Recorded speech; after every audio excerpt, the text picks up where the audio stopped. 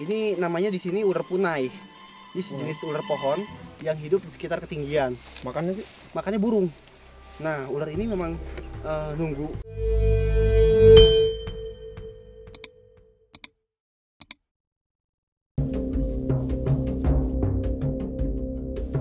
Berada di dataran tinggi Karo, Kabupaten Karo, Sumatera Utara, Gunung Sinabung merupakan gunung berapi aktif. Ketinggiannya mencapai 2.460.000 meter dan merupakan gunung dengan puncak tertinggi di Sumatera Utara.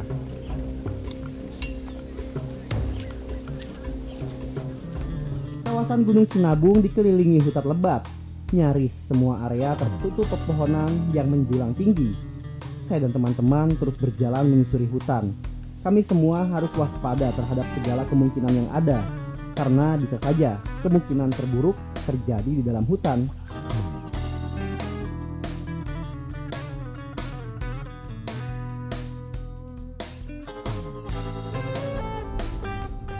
Keberadaan ular kobra atau Naya leokodira di perlintasan yang sering dilewati manusia ini mungkin dikarenakan ular ini sedang mengejar mangsa atau sedang berburu.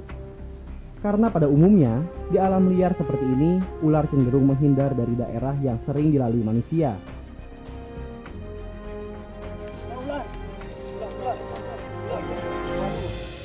Kobra biasanya berhabitat di daerah tropis dan gurun di Asia dan Afrika. Beberapa jenis kobra dapat mencapai panjang setengah hingga dua setengah meter. Kobra di Sumatera umumnya memiliki racun bisa lebih mematikan dari kobra Jawa. kobra ini. Ini jenis kobra Sumatera nih. Tuh lihat, ya kalau misalkan eh, sedang Serangan kobra ini cukup agresif. Bahkan tak jarang ia menyerang sambil menyemburkan bisanya. Semburan bisa kobra bertujuan untuk melumpuhkan lawan. Biasanya semburan tersebut diarahkan pada bagian mata lawan. ya. Ini dia nih. Kobra Leokodira Sumatera. Ini adalah jenis ular beracun yang tingkat racunnya itu lebih mematikan dibanding kobra eh, yang ada di Jawa, yaitu kobra hitam Jawa. Nah, ini Pak, eh, ini lokality daerah Medan nih. Bawah badannya ini warnanya agak putih, terus eh, apa? Total-totalinya lebih ke coklat, bukan lebih ke hitam. Racunnya ini ini lebih kuat daripada kobra yang ada di Jawa sana, yang hitam-hitam itu. Ini mau ganti kulit ini ya? Ah, emang biasa kan? Semua reptil tuh eh, apa melakukan ganti kulit kayak gini. Ini gunanya tuh untuk melepaskan parasit atau kutu, jamur, terus lumut yang nempel di badannya. Ini saya saya coba bantu untuk lepasin kulitnya. Tuh. Maaf, halus ya? Iya, kulitnya cukup halus. Penting sih halus. Nah, sekarang saya akan coba untuk tangkap ya.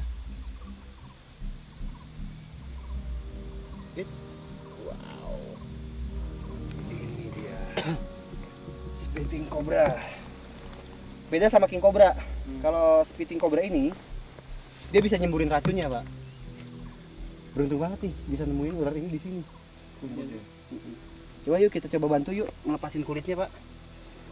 Bantu dia untuk lepasin kulit lamanya, Pak. Nah, sekarang kita coba ini udah siap. Ini kulitnya udah siap untuk dilepasin, cuma karena mungkin di daerah ini suhunya dingin jadi agak sulit ya. Makanya coba kita bantu aja karena udah siap gak apa-apa kok. Oke. Lihat sekarang warna kulitnya jadi lebih cerah. Lagi lebih mudah ya lebih muda lagi ya. Sampai itu bekas luka kayaknya. Sekarang ular ini sudah keseluruhan mendapatkan kulit barunya. Lihat warnanya lebih cantik lebih bersih. Coba kita lepas lagi dikit ya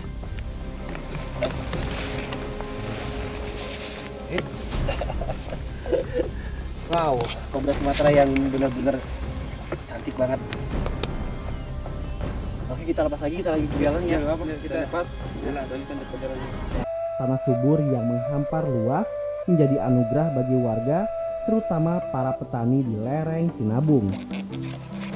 Kebun buah dan sayur di Brastagi menjadi pemandangan yang menutup hampir seluruh lereng pegunungan. Udara dataran tinggi memang sangat cocok dengan tanaman buah dan sayur. Sehingga komoditas pertanian di sini menjadi salah satu produk unggulan di wilayah Sumatera Utara.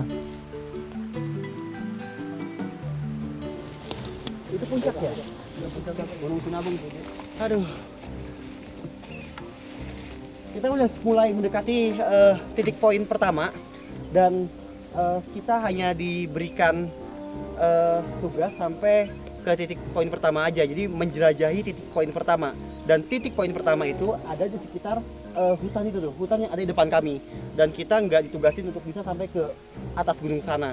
Sayang juga. Masalahnya yang ditugasin sampai ke atas gunung sana itu adalah tim satu ya nggak apa-apa lah menghemat energi supaya nggak naik sampai ujung sana ayo pemirsa jalan lagi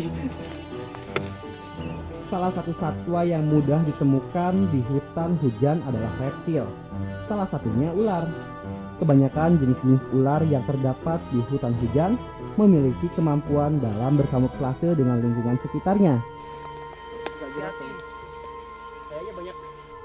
Tripideolumus wakleri merupakan jenis ular berbisa yang bentuknya menyerupai pucuk sulur-suluran tumbuhan di hutan. Ular jantan yang aktif di malam hari dan tidak begitu lincah. Kerap terlihat di antara ranting pohon, namun jika merasa terancam, ia dapat bergerak dengan cepat dan gesit.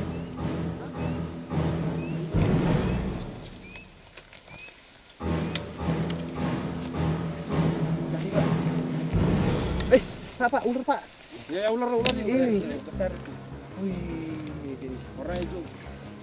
aci aci mas wah ini ular bahaya nih. Racun ya. racun racun racun. Bunuh aja nggak usah. Jangan jangan jangan jangan. Jangan jangan. Jangan kasih ada lubang jangan jangan jangan jangan pak. Jangan jangan. Nah ini. Ini kalau misalkan nangkap ular beracun kita jangan pakai tangan kosong pak. Nah lihat ini namanya di sini ular punai.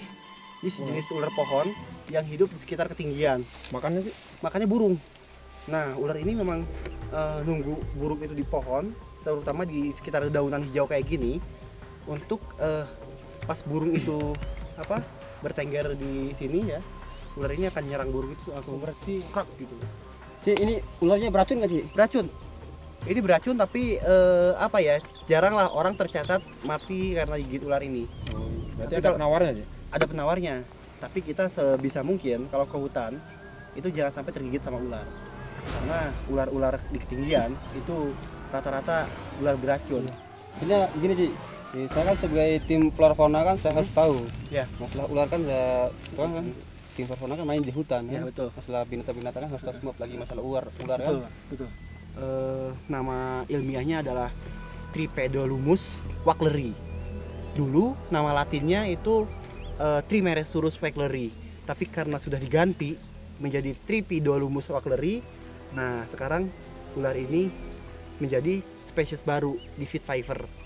Jadi dia tuh eh, spesiesnya itu ter- ter- termasuk jenis Fit Fiver, Iya. bang. Gak apa kalau misalnya mau megang, megang aja bang, nggak apa bang. Agak kasar ya. Eh, agak Tapi kasar. kasar ya, Ci, ya? Iya, beda sama kobra tadi kan. Hmm. Nah, sekarang kita lihat, kita lihat eh, giginya ya bang ya. Ini bang, dia punya gigi yang nah, nah, Uh, nah. Eits. Nah, Oh, dia dilipat ke dalam ya Ci ya? Iya, Selonoglypha jenis giginya ini bang.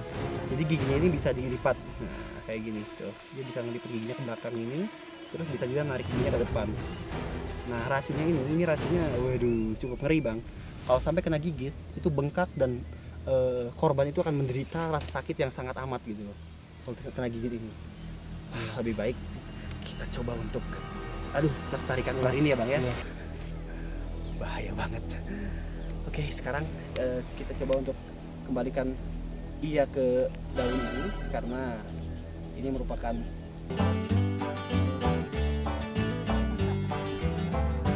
I'm a pilgrim on life's long and weary road till I lay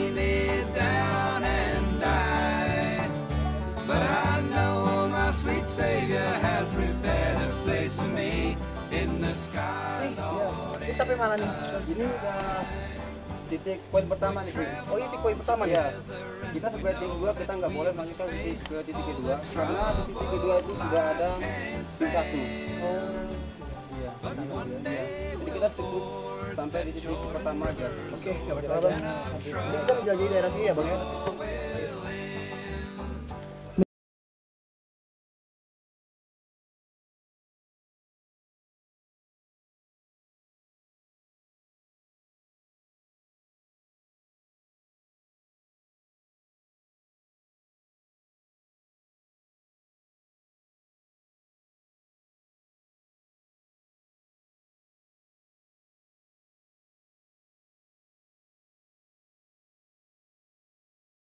Mas, ulang, ulang, ulang, ulang, ulang, ulang. Lagi-lagi saya menemukan ular hijau yang sempurna berkamuflase di antara dedaunan dan ranting pohon hutan. Ular hijau yang satu ini merupakan jenis endemik, yaitu Tripedelumus wakleri atau ular hijau Sumatera. Gede banget lagi. Tuh, tuh. Ini ulang aja. Ulang aja nih. Aji. Mana sih Pak Ai? Pak Ai mana sih? Ini, ini, ini, ini. Sebelah mana sih? Sebelah, sebelah, sebelah, sebelah. sebelah. Wih, di. Wah, gede banget ya. Gemuk. Batangnya, Bang. Ini, Aus, Bang. aus, aus. Dia mau lompat, Pak. Hati-hati ya. Eh, balik ya? Aus sih, dibalik, dibalik, dibalik, depan dibalik. Eh, eh, gigit dia. Hati-hati ya. Balik, Aus, aus. Galak nih.